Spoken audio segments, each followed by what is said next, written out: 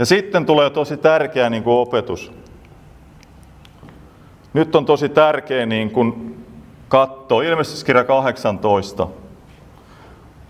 Näin tulevan taivaasta alas erään toisen enkelin, jolla oli suuri valta ja maa valkeni hänen kirkkaudestaan. Hän huusi voimallisella äänellä sanoen, kukistunut, kukistunut on suuri Babylon ja tullut riivaajan asunpaikaksi ja kaikkien saastaisen henkien tyyssiäksi.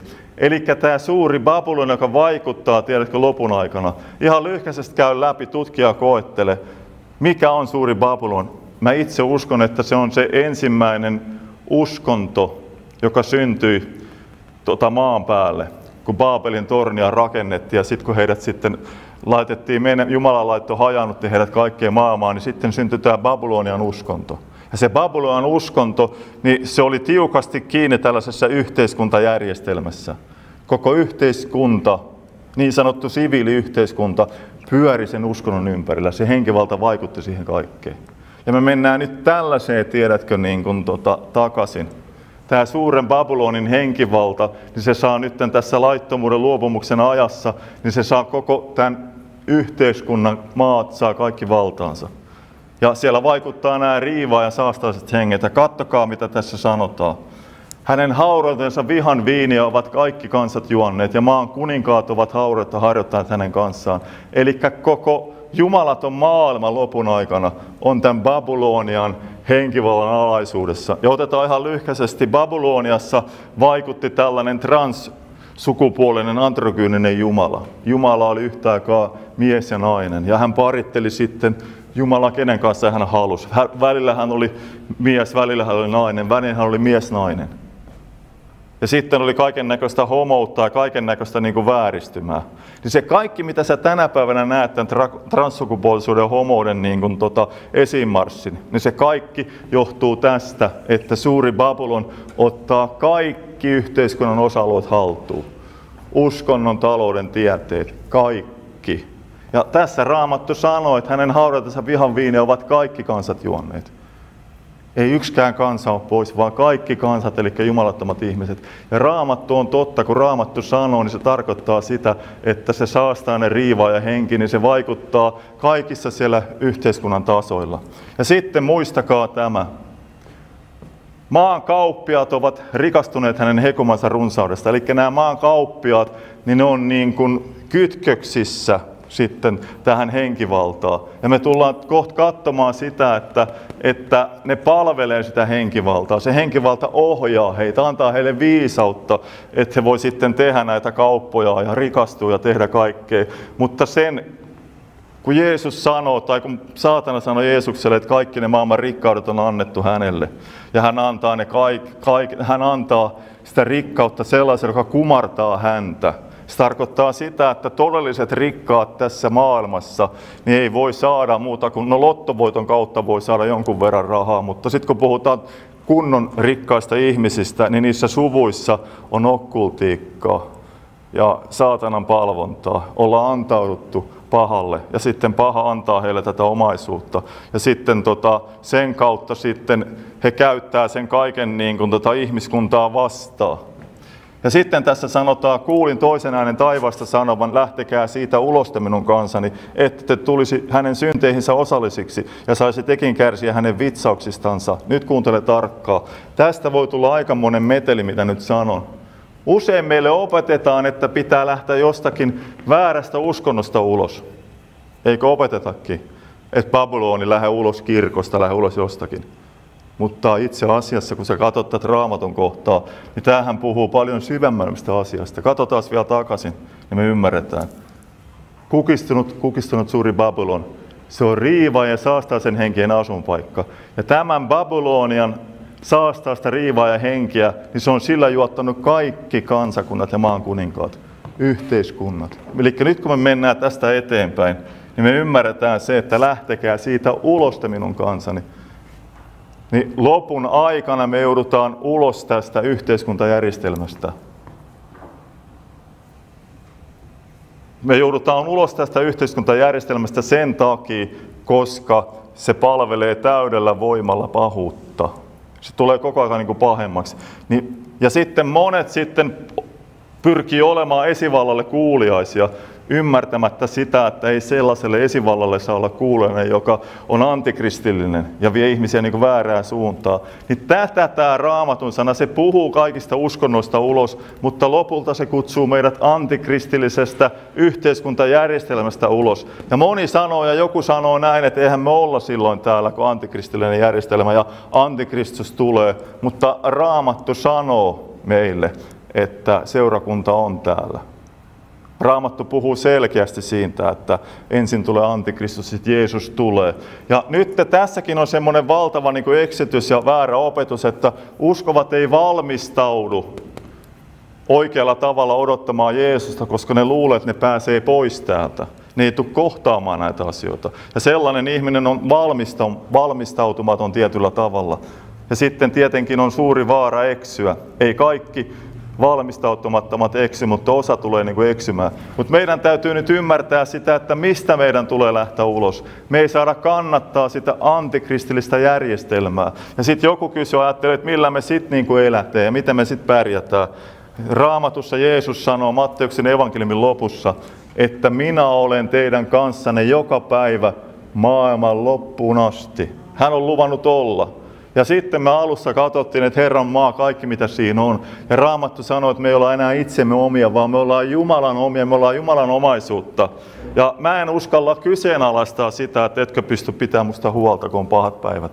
En mä uskalla sanoa silleen. En mä uskalla käydä ajattele.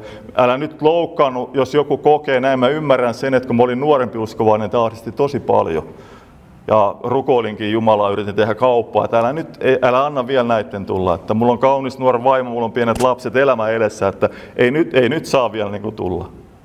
Mutta sitten kun saadaan uskossa kasvaa, niin tota, me suhtaudutaan niin kuin eri tavalla. Ja Jumala haluaa suokin niin kuin rohkaista ja varustaa siihen, että ei meidän tarvitse niin kuin pelätä.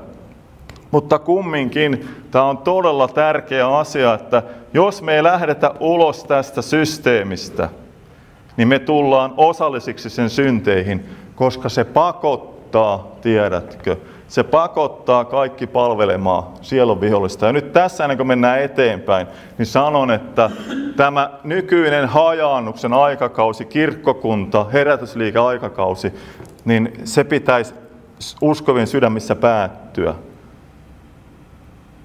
Koska koko aika me menemme enemmän sellaiseen aikaan, jolloin antikristillinen järjestelmä rakentaa yhteiskunnat sillä tavalla, että se kirkkokunta, herätysliike, joka saa julkisesti kokoontua, sen täytyy hyväksyä ne kriteerit, joita sillä annetaan. Me tullaan kohta katsomaan niitä vähän tarkemmin, mutta lyhkäisesti sanon siihen, eli kirkkokunnat ja herätysliikkeet joutuu hyväksymään syntejä, pahoja syntejä, jotka on Jumalan sanaa vastaan että he voi olla olemassa. Ja sitten kun ihminen on rakentanut näitä ja uhrannut koko elämänsä, niin sillä voi olla semmoinen taipumus, niin kuin monilla on semmoinen taipumus sitten, että haluaa pitää niistä kiinni ja sitten voi tehdä, käydä tehdä kauppaa ja voi eksyä vaikka sillä tavalla, että no voihan mä tehdä jonkun kompromissin niin kuin maailmaa mutta sydämessä mä uskon kumminkin eri tavalla. Mutta jos sä teet tämmöisen kompromissin maailman kanssa, annat tällaisen todistuksen, niin sä oot jo rikkonut Jumalaa vastaan.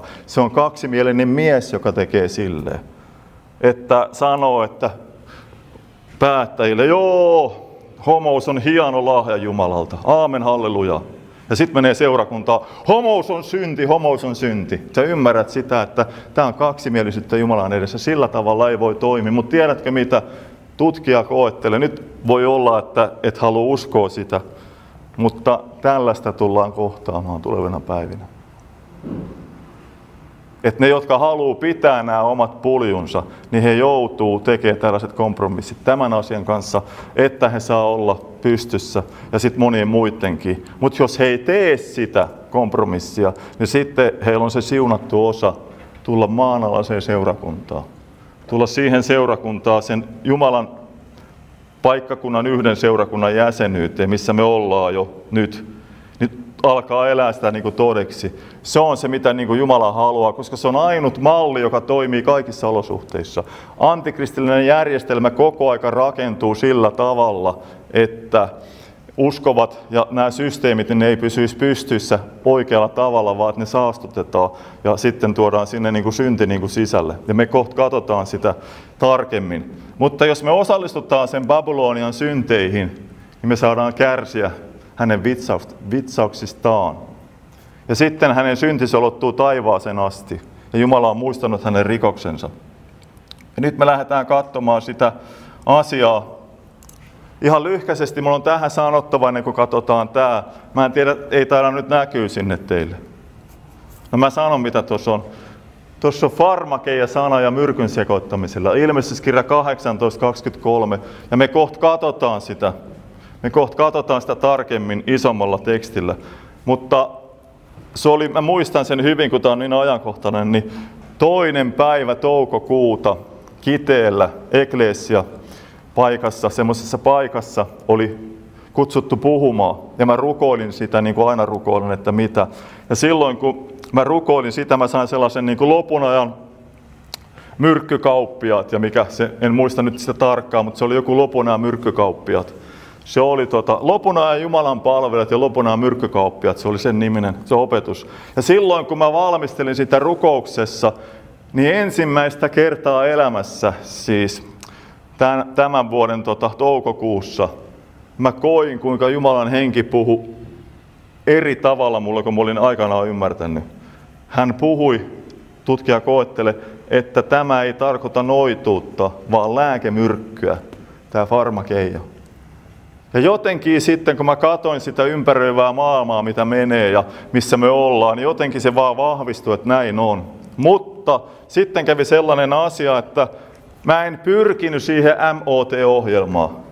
Mä en soittanut sinne, hei mä haluan tulla puhumaan teille, vaan ne ilmoitti, otti muuhun yhteyttä ja sanoi, että he laittaa yhden mun puheen, just tämän myrkkykauppias puheen, he laittaa niin kuin klipin siitä. Ja sitten he vaan sanoivat, että ilmoitetaan sinulle. Tai he ei sitä sanonut mulle, vaan ne vaan ilmoitti aluksi niin kuin näin, että he laittaa jonkun mun pienen klipin sinne, että ilmoittaa, että varaudut siihen, että semmoinen näkyy, että tiedät.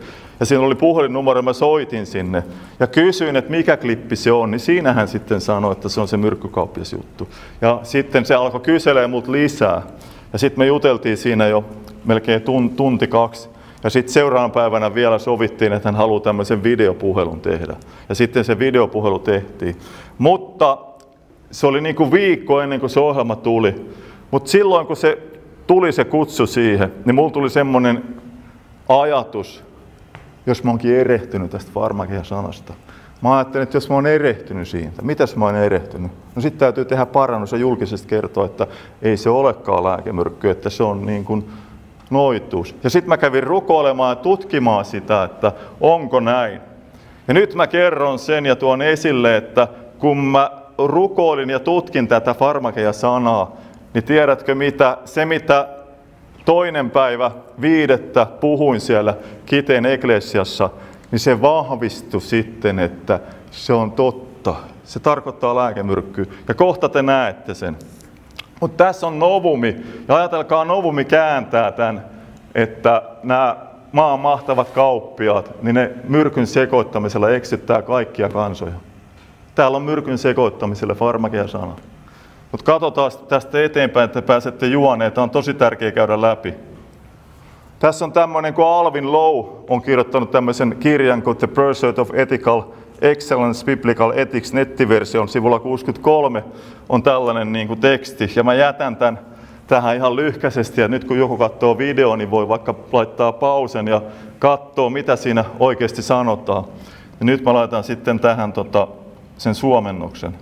Eli farmakeia, tämä farmakeia, farmakeia sana, käytetään yleisesti lääkkeenä, lääkemyrkkyjuomana sekä loitsuuna ja voi sisältää noituuden, mutta se ole rajoittunut tähän. Ainakin yhdessä tapauksessa sataluvulla jälkeen Kristuksen lääkäri Soranus Efesalainen käytti sitä, jota on joskus kutsuttu gynelogian isäksi. Ja hän viittasi tällä farmakeia-sanalla tämmöiseen lääkeaineeseen, aportoivaan lääkeaineeseen, myrkkyyn lääkemyrkkyyn, jolla tapetaan sitten naisen kohdussa oleva niin kuin lapsi. Eli sitä on käytetty 100-luvulla. Ja sitten muistatte sen, että 90-luvulla, noin 90-luvulla on ilmestyskirja kirjoitettu. Ja tämä on aikalainen. Ja sitä käytetään tällaisena lääke- ja lääkemyrkkynä. Mutta kattokaa, kun mä tutkin tätä, tässä on, kuka haluaa katsoa, niin voi sitten kopsata tämän ja mennä lukemaan tämän. Tämä on niin kuin sanojen etymologiaa, sen alkuperäinen tarkoitus, mitä ne tarkoittaa, sitten siitä niin kuin, miten se lähtee menemään. Ja täällä on farmasi-sana englannin kielellä, tarkoittaa tätä farmakeiaa. Niin tämä etymologia sanoista farmakeia ja farmakon sanoo, että tämä kreikan kielen farmakeia, kato, kreikan kielen farmakeia tarkoittaa parantavaa tai haitallista lääkettä, parantava tai myrkyllinen yrtti. Se on oikeasti sen niin kuin päämerkitys. Ja sitten lääkeaine, myrkyllinen lääkejuoma, taikajuoma, väriaine, fysikaalisen tai kemiallisen käsittelyn raaka-aine. Mutta me nähdään, että se on liitetty lääkkeeseen tämä farmakeia-sana. Selkeästi. Ja sitten me nähdään sen sana johdannainen, farmakon sana, lääkemyrkky, lemmenjuoma, noitua, taikoa, loitsu, taikuus, taikavoima. Ja sitten tämä farmakeos-sana niin tarkoittaa sellaista lääkkeen valmistajaa, myrkyttäjää, velhoa, joka teki näitä asioita. Sitten tässä on se tota, Tuossa on se osoite ylhäällä ja tässä on sitä tekstiä. Netistä voi mennä katsoa tämmöinen kirja. Niitä pystyy muuten lukemaan jonkun verran noita nettikirjoja, tiettyjä vaikka ei ostaisi niitä, niin niissä on sellainen niin kuin näyteerä ja niitä voi lukea välillä aika pitkästi ja siellä voi olla aika paljastavia asioita. Niin sieltä sitten löysin tällaisen. Ja nämäkin on aika mielenkiintoisia asioita, että nämä ei sillä tavalla tipu taivaasta, vaan niitä täytyy rukoilla ja käydä asioita läpi ja sitten pitkään joutuu käyttämään välillä aikaa, että tällaisia asioita tulee. Et ei ne niin kuin aina tule niin tuosta noin vaan. Mutta kattokaa, mitä siinä sanotaan. Nyt on tärkeä, kun sä ymmärrät tämän, mitä sanotaan, niin sitten me ymmärretään farmakeja tarkemmin. Tämä Alvin Lovin kirjassa nettiversion sivulla 63 sanotaan, kuinka tämä farmasisana, eli farmakeja, on peräisin, niin tämä farmasisana on peräisin farmakeja-sanasta. Ja sitten hän sanoo tässä, että se on yleisesti käännetty noituudeksi farmakeja-sana, mutta John T. Noonan, sellainen kaveri, sanoo, että farmakeja pitäisi oikeastaan kääntää lääkkeeksi, koska sitä se tarkoittaa, niin kuin me nähtiin, se tarkoittaa lääkettä. Ja sitten tota, se, että miksi se noituu sana tulee siihen mukaan, niin se on tämän takia, koska muinaisessa maailmassa lääke oli yhdistetty uskontoon ja okkulttiikkaan sellaisella tavalla, että nykyisessä ajassa sitä on vaikea ymmärtää. Avataan se vähän, että minkä takia se on vaikea ymmärtää. Muinaisessa maailmassa, kun käytettiin tätä farmakeijaa, tällaisia parantavia tai myrkyllisiä lääkkeitä okkultiikassa ja uskonnossa, niin saatettiin vaikka sitten vihamies niin kuin kirota ja juottaa sille myrkkyjuomaan, niin kuin tappaa se. Te tiedätte, että siellä aika paljon tapettiin myrkkyjuomilla ihmisiä kaikkea. Ja sitten näiden tämmöisten lääkinnällisten kasveiden kautta, jotka niin kuin on tämmöisiä huumaavia, ikään kuin päihdyttäviä, niin niiden kautta sitten taikamenojen kautta otettiin yhteyttä riivaa ja henkiin. He puhu niin kuin henkimaailman kohtaamisesta, henkioppaita, ja sitten he sai sieltä tietoa.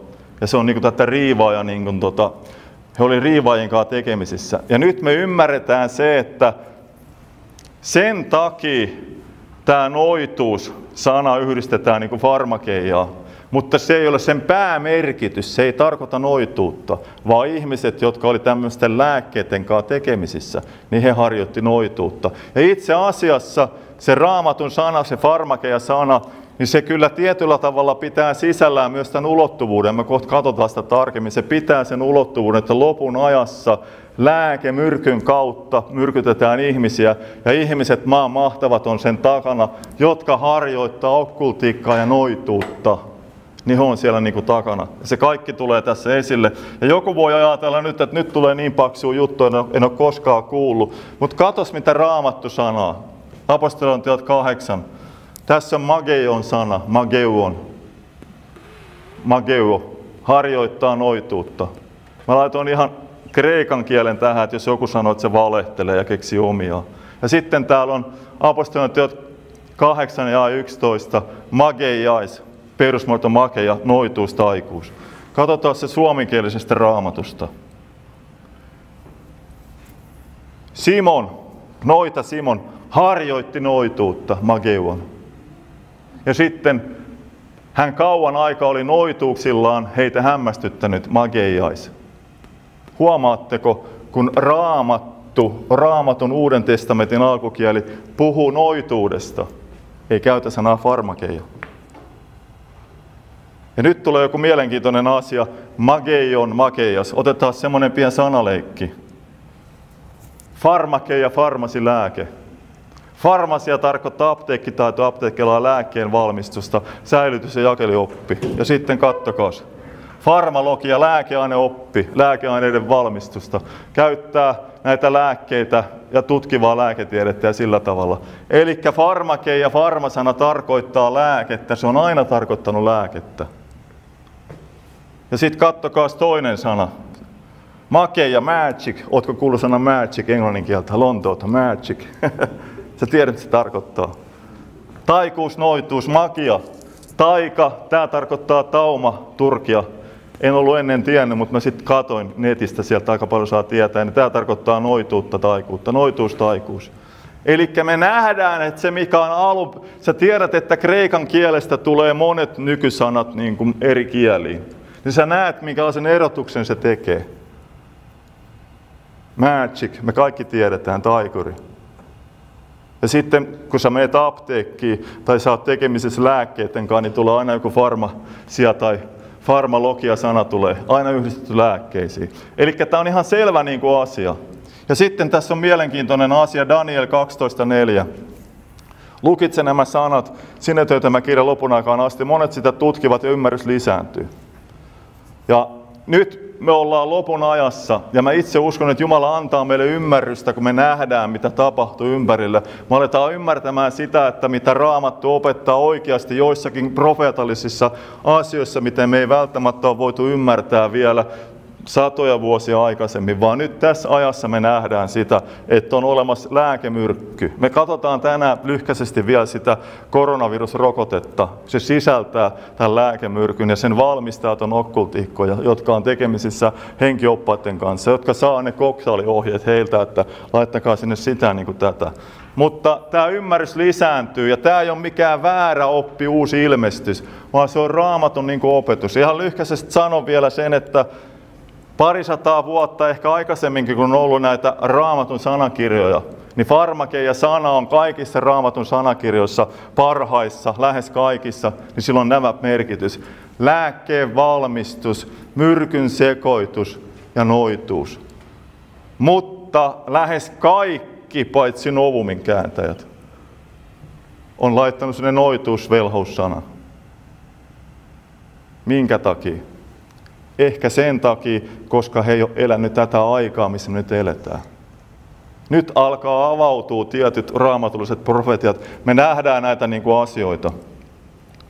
Ja toisin sanoen, se lääkesana ja se myrkkysana, se on ollut koko aika raamatun kääntäjillä nenän edessä. Mutta sitä ei ole vaan niin ymmärretty. Ilmestyskirja 18.23. Tässä on se alkutekstin mukainen jae. Ei loista sinussa enää lampun valo, ei kuulla sinussa enää sulhasen eikä morsiamen ääntä, sillä sinun kauppia ovat maan mahtavia ja sinun lääkemyrkyllä eksytettiin kaikki kansat. Tässä puhutaan maan mahtavista kauppiasta. Englanninkielinen sana kääntää the great one of the earth, niin kuin maan mahtavat. Ja joskus on katsonut vapaamurreita niin he käyttää itsestään tällaista nimitystä. Ja me tiedetään, mitä vapaamurret on, että he on tätä illuminaattia, he on eliittiä ja he pyrkii niin kuin tähän uuteen maailmanjärjestykseen. Mutta nämä kauppiaat, jotka kauppaa, maan mahtavat kauppiaat, ne kauppaa lääkemyrkkyä.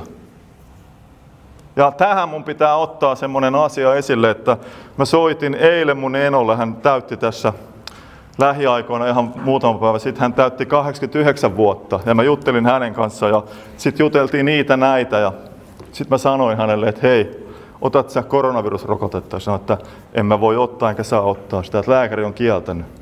Että hänellä on niin todistus, että hänen ei tarvitse ottaa. Mä että no, no minkä takia? Että tuli heti heräs sellainen mielenkiinto, että no minkä takia? Sitten hän sanoi, että lääkäri sanoi, että jos mä otan, kun mulla on semmoisia allergioita, jos mä otan sen, niin mä todennäköisesti kuolen siihen piikkiin. Että sen takia sä et saa ottaa sitä, sulla on siihen todiste. Että... Ja sitten mä kysyn, että saako tämä jakaa eteenpäin, että kyllä voit, kerro vaan eteenpäin. Tällaiset tekemisten me ollaan. Ja sitten jos sä luet niitä asioita, niin sä näet se ja sitten sanotaan lyhkäisesti, että lisääntyvä määrä lääkäreitä vastustaa sitä lääkettä. Sitä ei ole tarpeeksi tutkittu ja se on tosi niin kuin vaarallinen ihmisille. Eli tämä ei ole nyt mikään semmoinen fantasia, että nyt aletaan raamattu uudelleen tulkitsemaan, vaan raamattu oikeasti puhuu tämän. Jos sä ymmärrät sen farmakeja sanan, se aina liitetään lääkkeeseen ja magia ja sana on sitten tota, noituus. Ne on erotettu toisistaan selkeästi. Ja sitten kattokaa, tämäkin raamatun sana tulee nyt meille eläväksi. Jos, jos ei juot jotakin luet kuolettavaa. Markus 16.17. Miksi täällä on tällainen kohta? Just luin teille, että tähän aikaan oli näitä lääkkeitä, taikajuomia, myrkyllisiä juomia, joita valmisteltiin sitten vihamiesten päämenossa kaikkeen. Ja tietenkin sit voidaan ajatella se, että jotkut ihmiset sitten vihas niin paljon kristittyjä, että saattoi jotakin tällaisia myrkkyjuomia, tiedät sä, niin kuin, tota, tehdä. Ja se oli yleistä siinä maailmassa.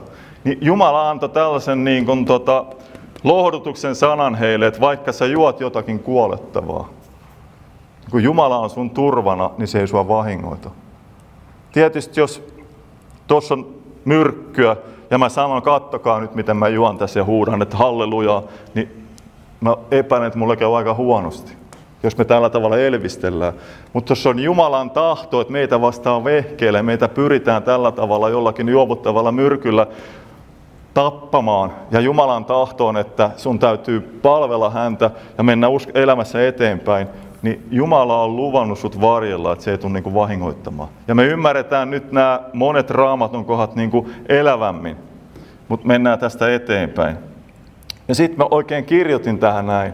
Nyt tänä käydään ihan lyhkäisesti läpi, ei tässä välttämättä kauaa enää kestä.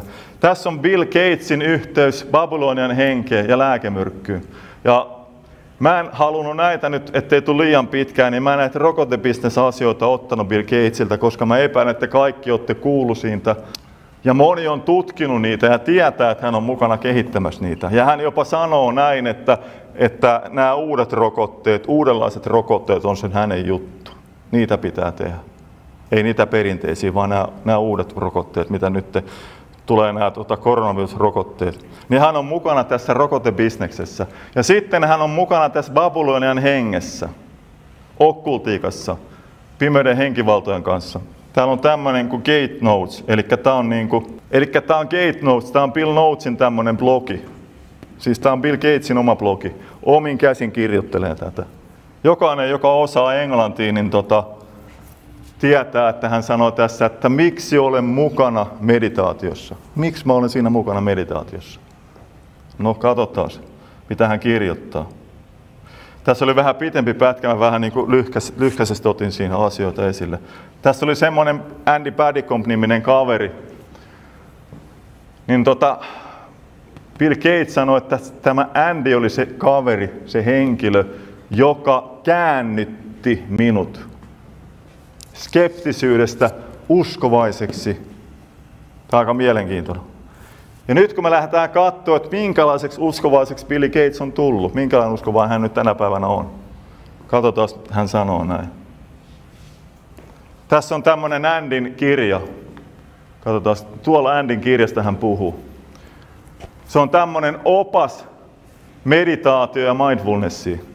Sitten hän sanoo näin, että Melinda hänen vaimonsa ja hän, ne tykkäs niin paljon tästä Andin teoksesta, kirjasta, että ne otti häneen yhteyttä ja sitten kysyi, että onko hän halukas niin kuin tulemaan viettää heidän kanssa vähän aikaa opettamaan heidän perheille niin kuin näitä meditaation ja mindfulnessin saloja. Ja sitten tässä sanotaan näin, että se oli päivän ja puolitoista auttoi heitä ja heidän kahta lasta tekemään niitä kirjan, tiedät sen, niin kuin harjoituksia, mitä siellä on. Meditaatio, mindfulness-harjoituksia. Ja nyt hän tekee joka päivä niitä. Ja Raamattu sanoo 2 Korintoan 11, eikä ihmisille itse saatana tekeytyy valkeuden enkeliksi. Ei ole siis paljon, jos hänen palvelusenkin tekeytyvät vanhuskauden palvelijoiksi. Onkohan mulla unohtunut pois yksi asia? On. No mä en laittanut sitä, mutta mä sanon, kun mä sanoin, että mä kahteen saakka tein näitä.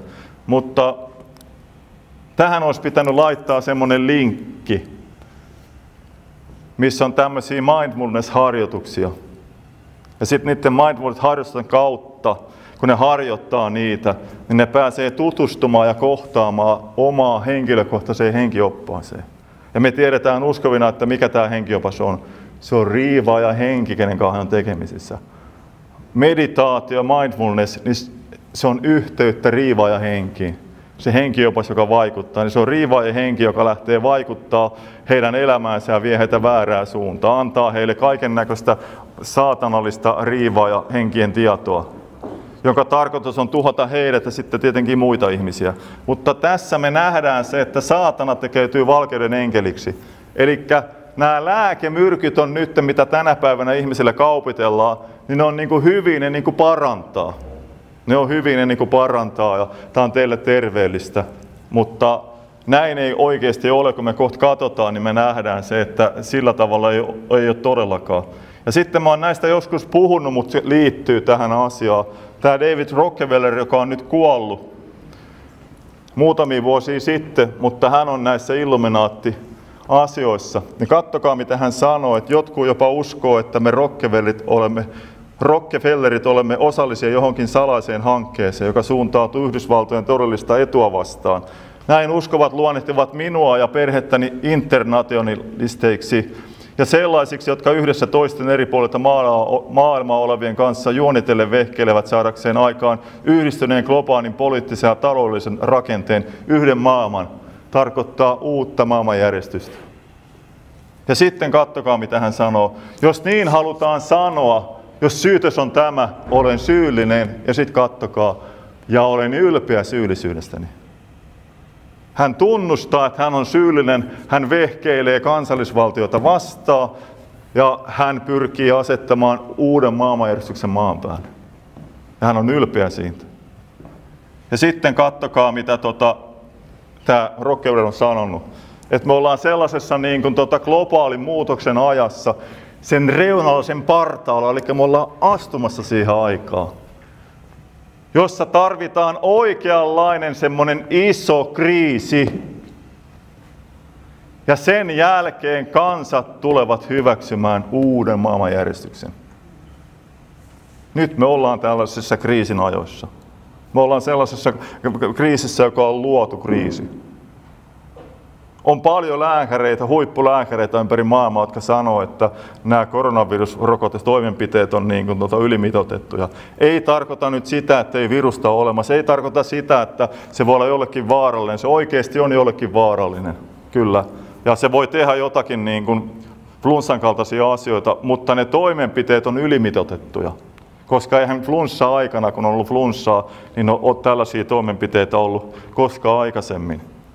Mutta kattokaa, mitä sitten, tota, mä kirjoitin tuohon, että tuhon ja kaauksen kautta tulee ihmiset hyväksymään uuden maailmanjärjestyksen. Eli tämä koronaviruspandemia, niin se on osa tätä suunnitelmaa. Mä uskon, että se on niin kuin laboratoriossa tehty ja sen tarkoitus on saada niin kuin uutta maailmanjärjestykseen. Niin kuin, se on tavallaan apukeino sen saavuttamiseksi. Ja sitten mä uskon, että sitä ei vielä tiedetä, mutta ei se tähän jää, vaan tulee koko ajan lisää tämän kaltaisia asioita, jolla lopulta sitten asetetaan se uusi maailmanjärjestys. Tulee niin kovat, tiedät sä, niin kuin ongelmat, että kansakunnat tulee lyömään polvilleen, raha menettää merkityksensä, tulee uusi maailma, tulee uuset arvot, tulee uusi johtaja, maailmanlainen johtaja, joka ratkaisee kaiken. Antikristus, joka on pettäjä ja pettää kansoja. Ja nyt joku ihmettelee, miksi mä uskovaisena puhun tällaisia. Sen takia, koska Raamattu sanoo Danielin kirjassa, että monet uskovaisetkin rikkoo liiton ja menee antikristuksen leiriin. Ja monet usk- jumalattomat ihmiset ajautuu iankaikkiseen kadotukseen ottamalla vastaan pedonmerkit sitten ja, ja menemällä sitten hänen syleilyynsä. Ja nyt haluan sanoa, että mä en itse usko, että koronavirusrokote on pedonmerkki. Toistan vielä sen, koska ihmeellisesti ihmiset kuuntelee. Mä saan koko ajan viestejä, että, että miksi sä sanot, että se on pedonmerkki. No kuunteles vielä. Koronavirusrokote ei ole pedonmerkki. Mä en usko, että se on pedonmerkki. Mä en usko sitä.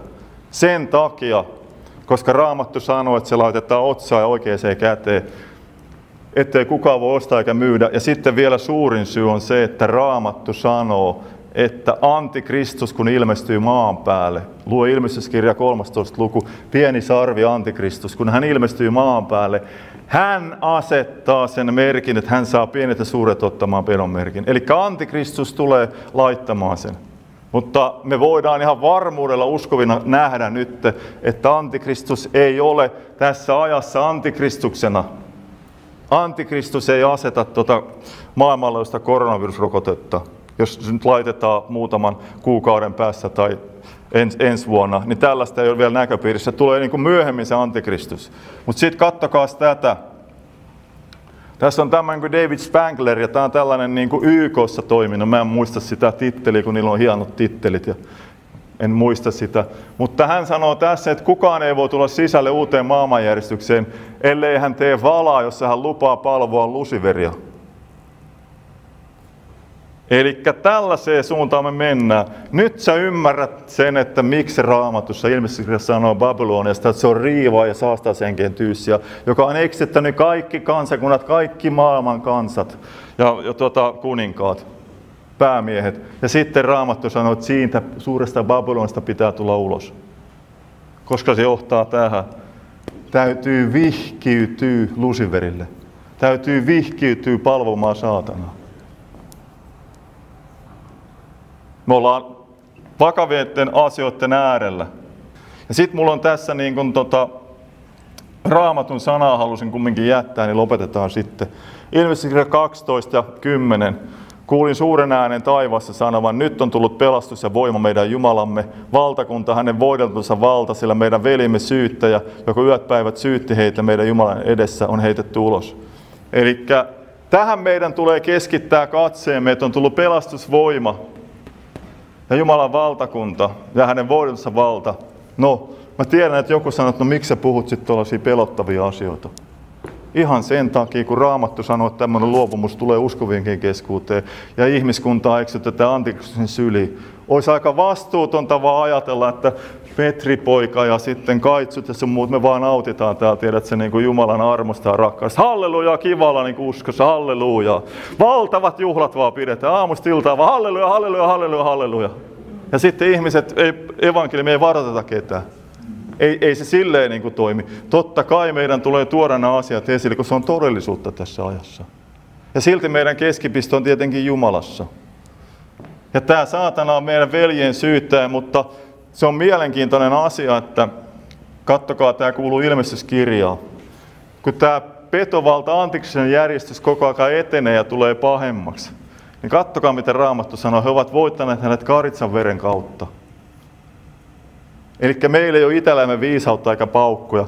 Meidän tulee turvata Jeesuksen vereen, hänen ansioihinsa, ja olla pieniä ansiottomia palvelijoita ja uskossa kuuliaisia Jeesukselle ja todistuksen sanan kautta. Eli me kerrotaan, tuodaan esille totuutta kaikesta, mikä liittyy tähän maailmaan. Tämä lopun ajan lääkemyrkyt, ne liittyy oleellisesti tähän aikakauteen, missä me eletään. Niin sitäkin meidän tulee tuoda esille, ei joka päivä koko aika, mutta ainakin joskus. Eli me voitetaan Jeesuksen veren kautta ja sen todistuksen sanan kautta, kun me ei olla sillä tavalla arkoja eikä pelätä, vaan me ollaan, Jumala antaa meille sellaista rohkeutta. Itsessään meistä rohkeutta tietenkään ei ole. Mäkin itse ajattelen ja koen ja tiedän, että mä oon itsessäni hyvin pelokas arka ihminen ollut niin kuin aina.